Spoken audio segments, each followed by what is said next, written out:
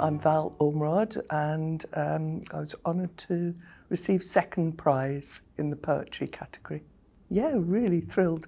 Um, I, I also had a, a poem shortlisted, so so both the poems I sent in were recognised. And I've entered this um, competition for the previous three years and had one shortlisted each time, which has been really, um, really very nice. And uh, but even better this year to have won a prize for one of them. Um, I think I've probably written poetry for most of my life.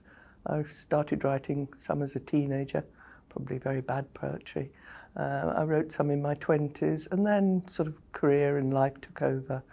Um, and um, oh, back in the, um, the early 2000s, my father was diagnosed with dementia and came to live with me. I looked after him for six years. And I started writing about looking after him and writing some poems about dementia and trying to imagine what it was like in, inside his head.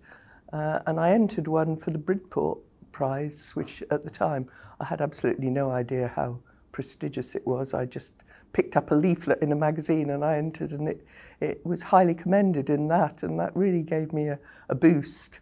Um, and I thought, oh yeah, people are liking to write to read what I'm writing. Um, and then I joined a poetry group and I've sub subsequently joined two more poetry groups and each of those we meet once a month and write to a theme. Quite often it's a theme that I would never have even thought of writing about before and it's kind of increased my range. But, um, uh, and that makes me write. I, it's not that I'm particularly ambitious, but by belonging to three groups, I produce three poems, new poems every month, which, you know, it, it's just like a driving force and we workshop the poems and, and we get feedback and then go away and improve them and, and work on them.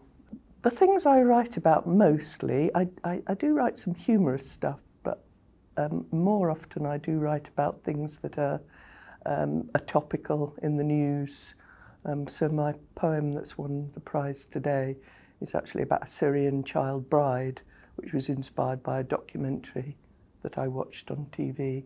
I've um, written, written one recently about um, a victim of the Turkish earthquake being rescued.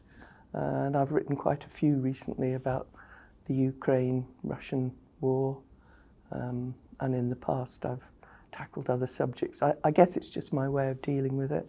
So I've, I've written about things like female genital mutilation, although, you know, po possibly that's cultural appropriation as it's, it's not something that's happened to me, but I do feel that poets and authors, in order to write convincingly and movingly, you need to get into the head of the person and imagine what it is like to go through the situation that they're experiencing, and that's what I tend to do.